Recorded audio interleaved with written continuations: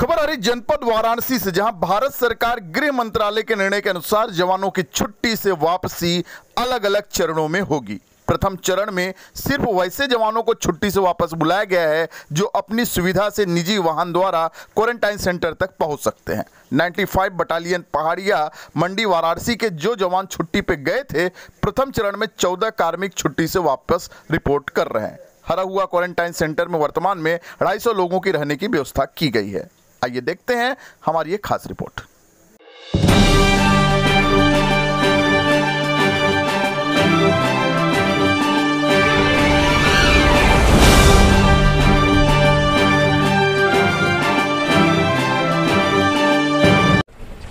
अ, मेरा नाम नरेंद्र पाल सिंह है। मैं commanding two 95 battalion CRPF Varanasi में सर आज किस तरह यहाँ पे किस तरह का क्या कर कर रहे हैं किस तरह का कैसे के बारे में बात कर रहे हैं 95 बटालियन सीआरपीएफ के वो जवान जो किसी भी प्रकार से छुट्टी पे थे या गवर्नमेंट ड्यूटी से वापस आ रहे हैं, उनको अलग अलग फ़ेज़ में वापस ड्यूटी पे ज्वाइन कराने का आज से कार्यक्रम स्टार्ट किया गया है।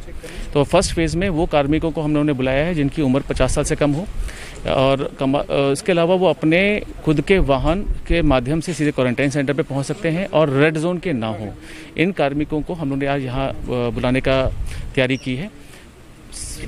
जी टोटल मेरे लगभग 120 जवान इस क्वारंटाइन सेंटर में आएँगे अलग अलग फ़ेज़ में आएँगे। अगर सर की बात की जाए तो यहाँ पे जो क्वारंटाइन सेंटर में रहेंगे जवान उनके लिए क्या क्या व्यवस्थाएँ की गई हैं किस तरह से वो रहेंगे? जैसे ही क्वारंटाइन सेंटर में आएँगे सबसे पहले हम लोग उनका पर्सनल डिसइंफेक्शन करने के पश्चात उनको वो सारे यहाँ पर सहूलियतें देंगे चाहे वो रहने की आवश्यकता हो रहने की जगह हो खाने पीना और इसके अलावा जितना उनको अंदर डेली कार्यक्रम में आवश्यकता होगी टॉयलेट लेटेड बाथरूम वो सब चीज़ों की उनको अलग व्यवस्था की गई है ताकि उनको कहीं किसी भी तरीके से बाहर जाने की आवश्यकता ना पड़े। तो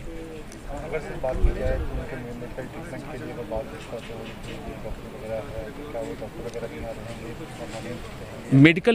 इस स्टाफ यहाँ पर परमानेंट रहेगा।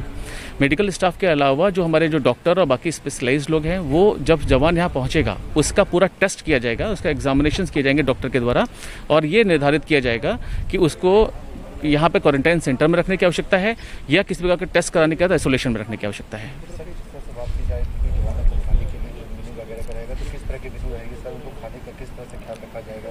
सीआरपीएफ में हर जवान के लिए इंश्योर किया जाता है कि उसको पौष्टिक भोजन मिले।